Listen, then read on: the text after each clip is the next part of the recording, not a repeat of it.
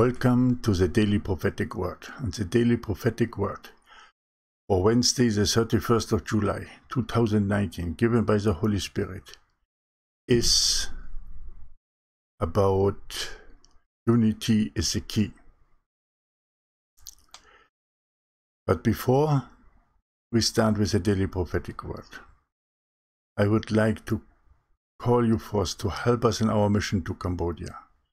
Today is your day to let the world see your true light.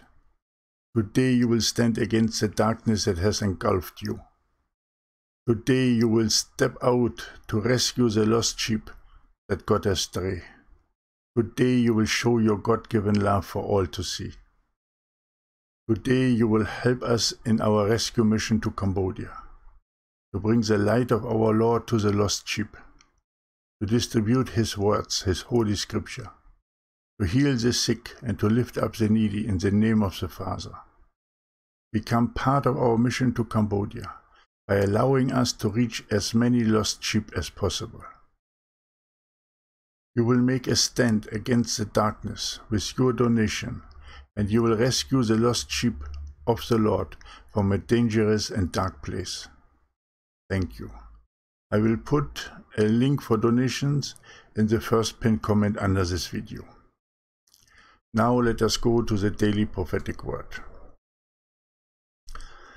Unity is the key. Have I not called you into unity and asked you to support one another? Don't you know that alone you will fall? Come together in love, unity and support and stand strong as my heart and my children.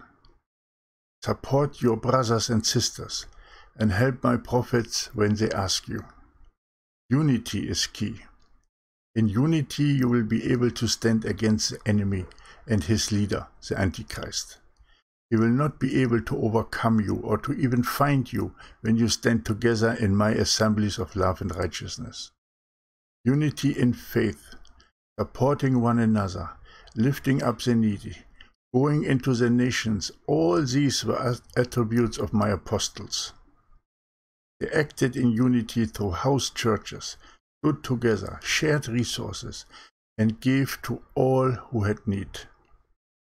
None of my apostles had to ask for funds for his travel because all believers shares, shared their excesses and there was plenty of resources for the missions of the apostles.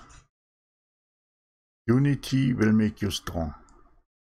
And this was a daily prophetic word given for Wednesday, the 31st of July 2019.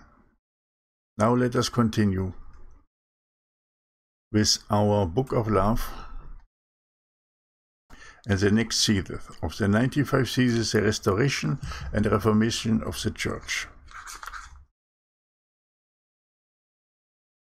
A multitude clothed in white will spread to all nations and all towns. And the next one, brotherly love will walk in unity.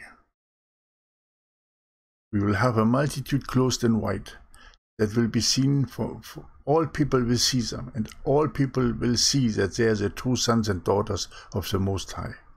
And they will act not only through brotherly love, by coming together, but also in complete unity in the face towards Yahweh the Father. Now let's go to the to the philosophical pointer.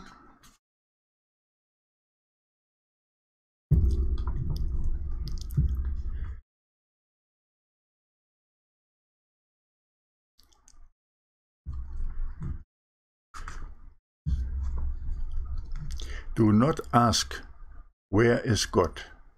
because God is in your hearts.